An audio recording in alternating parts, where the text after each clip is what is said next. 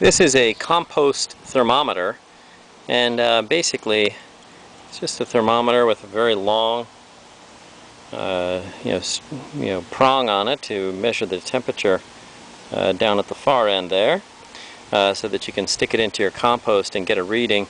Right now it's May 22nd uh, here in uh, northeastern United States and it's a lovely day outside. It is 75 degrees ambient temperature or air temperature and uh, here is my general compost pile from mostly, uh, it's probably about uh, six to eight feet across and three feet deep and about uh, three feet high. And I just fill that up with leaves and um, throw in my kitchen scraps when I have them. And now I'm just going to stick this into, here we go, again it's 75 degrees or so outside. Uh, and now I'm going to stick the end of it right on down into the compost and watch what happens. Temperature creeping up, up, up. And right now I'm at about 105 degrees. Uh, maybe a, just a tad over that, 106, 107. So, um, so basically we're looking at the uh, compost here uh, this is, that'll go out of focus, sorry I have it on macro mode. It's, uh, you know, this compost is now, it's about 30 degrees or 32 degrees or so above uh, air temperature. Uh, so certainly warmer than air temperature here. Up, actually now it's up to 110. You know, so, um, yeah, and again remember we started off at uh, 75 degrees, so we got, yeah, so we got about, uh, you know, we got a good, a good stretch there. Uh, and now what I'm going to do is I'm going to show you, so that of course is 35 degrees above air temperature. I'm going to show you the other half of my compost pile, which, sorry if it goes blurry for a moment while the camera refocuses. Uh, this uh, section off to the left where I just did it, it was 110 degrees. This section off to the right is basically made of the same stuff, but I haven't turned it in a few months. So we're going to see what happens here. And you can see we are warmer than air temperature.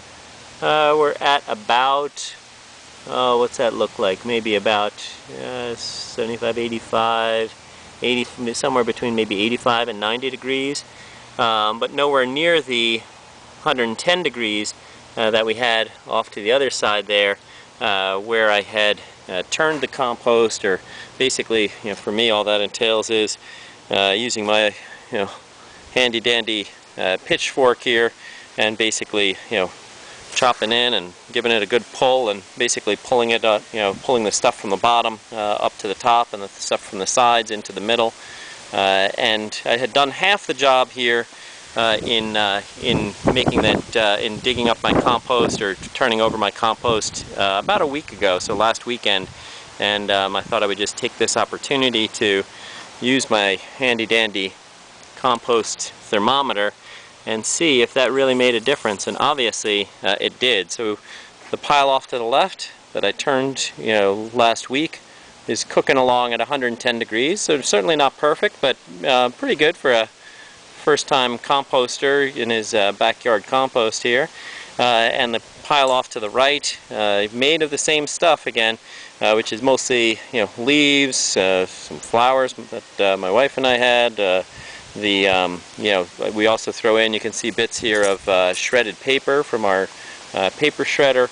Uh, so things like that go into the compost along with kitchen scraps. So same stuff, the only real difference was the side on the left got uh, aerated, uh, got, got some air by me turning it over. And then way over here is last year's compost uh, from actually a year and a half ago that was relatively finished last year. And I'm going to stick it in to here and see. That will focus. Here we're coming out at just about the 75 degrees, so just about air temperature. So really, this compost is, you know, essentially, uh, essentially finished, uh, or as close to it as I can, uh, as I can get with my, uh, my own, you know, sort of uh, backyard, uh, you know, amateur technique. But it's relatively, relatively earthy, and I'll be able to use that, you know, places around the garden. Alright, so that's just showing the compost thermometer.